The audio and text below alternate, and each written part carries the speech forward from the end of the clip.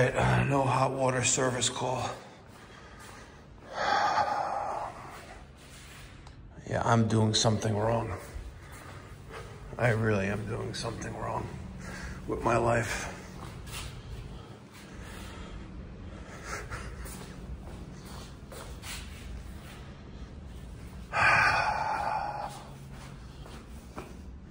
Oh, no, they don't. They really have carpet in the basement, really?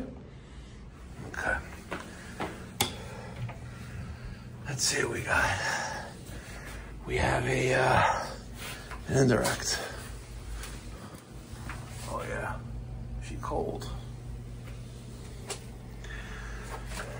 Bradford White. Let's see why she cold. There is uh, supply, and that's return. Oh, we got an error. All right, so I got an error of low water cutoff. Hmm. Here is the low water cutoff wiring. The red and the white is our 24 volts. The two yellows are our end switch. And if we follow that up to here, there is nothing illuminated there on the RB24. So either it's not getting 24 volts or it's dead. So that means they have no heat or hot water in the whole house with the exception of the two Bosch ultra cold climate heat pumps that we installed a few months back. Purring like a kitten. Mm-mm-mm. All right, I disconnected the four wire Molex connector that's plugged into the low water cutoff. I'm getting 26 volts. So we have a bad low water cutoff. If I jump out the two yellows, that error should go away. All right. I got a little piece of thermostat wire that I found on the floor. Strip the ends off with my needle nose. Okay. And this is just for testing purposes. Yellow to yellow.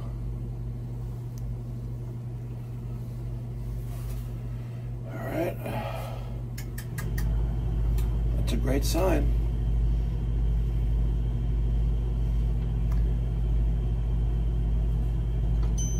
Let's see if we have to reset the error here. I'm not familiar with this model.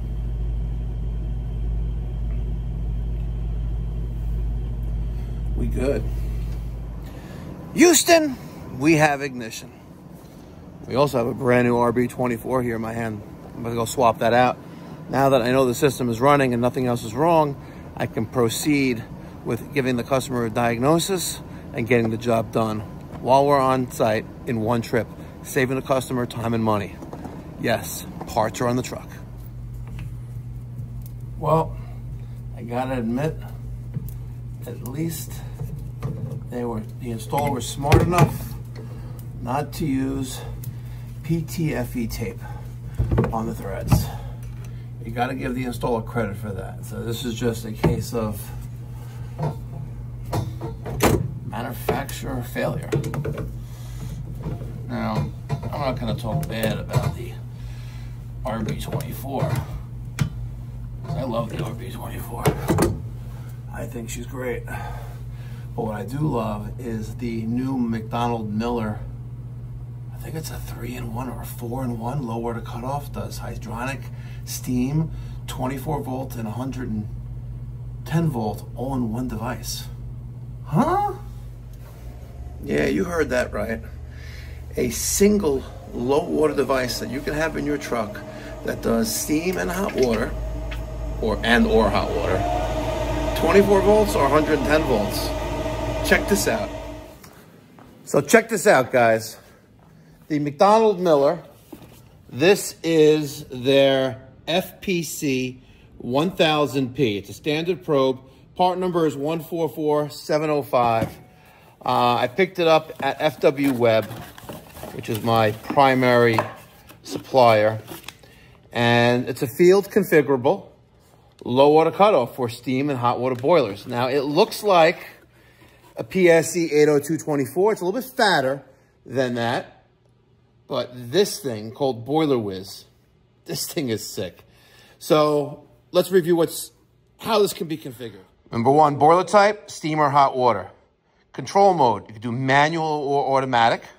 So a manual reset. We, and we have the status indicator lights. Now, I'm almost positive that it's for 110 and 24 volts. Let me double check the paperwork. Yeah, that's pretty cool. So it handles 24 volts and 110 volts uh, based on how you are and what terminals you use. Guys, check out the manual. It's and there's a quick start guide. Wow, this is awesome. This is going to revolutionize service trucks in the heating and HVAC world because you don't have to carry four different low water cutoffs. Steam, automatic reset, manual reset, hot water, manual reset, automatic reset. Four devices in one for hydronic or steam heat and two voltages in one for 24 volts or 110 volts. Now just imagine that McDonald Miller was a sponsor of the Mikey Pipes HVAC training facility right here in Woodmere, New York. That would be epic. Guys, I put up a third video on Fridays a couple days ago on principles of the thermocouple, how it works, how to troubleshoot, how to, how to diagnose it, details on the Mikey Pipes HVAC training channel on YouTube. Check it out, guys. You're not going to want to miss it. Thank you so much for watching. Hope you enjoyed this video. If, if you were like the contractor who was at this job on Friday night, pulling his hair out, didn't know if it was a bad low water cutoff, bad transformer. If you run into a failed RB24, green light isn't on, check your power. Make sure you have the proper voltage coming in. If you don't, find out why you don't. And if you do, do your due diligence and see maybe there was a short that shorted out the, the old, original low water cutoff, and you put a new one, it's going to die out as well. I didn't think I showed it on camera, but we did an ohms, sorry, we did a amperage test on the wiring make sure nothing was funky there, and it was all within range. So do due diligence, and you'll save yourself the aggravation and embarrassment of a recall. It's going to cost you time and money. Thank you so much for watching, guys. I'll catch you in the next one. Be well, God bless, stay safe.